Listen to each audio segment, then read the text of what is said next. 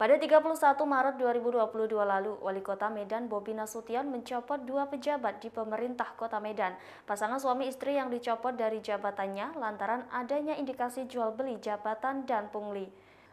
Adapun mereka adalah Zainal Noval selaku Kepala Badan Kepegawaian Daerah dan Pengembangan Sumber Daya Manusia atau BKD dan PSDM Kota Medan. Sementara istrinya Umi Wahyuni selaku Kepala Bagian Hubungan Antar Kota Daerah dan Lembaga atau Hagda Kota Medan. Dikutip dari tribunnews.com, Bobi Nasution menekankan kepada jajaran pemerintah Kota Medan bahwa dalam memberikan pelayanan terhadap masyarakat dilarang adanya pungli maupun transaksi di dalamnya. Ia juga mengucapkan dengan tegas bahwa semua pegawai baik ASN maupun honorer harus bekerja sesuai tugas pokok dan fungsinya.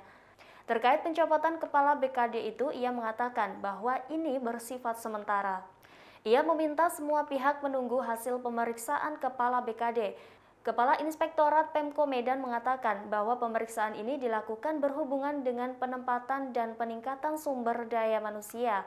Ia juga menyebut akan menginformasikan terkait hasil pemeriksaan dalam waktu dekat.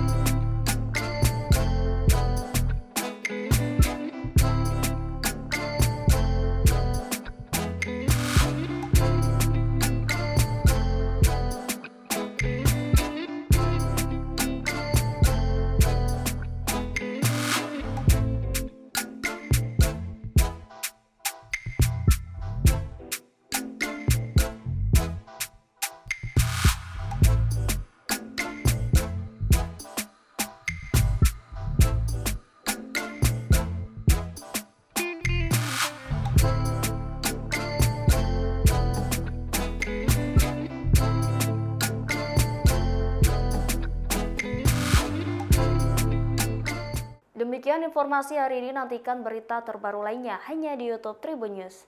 Terima kasih sudah nonton, jangan lupa like, subscribe, dan share ya!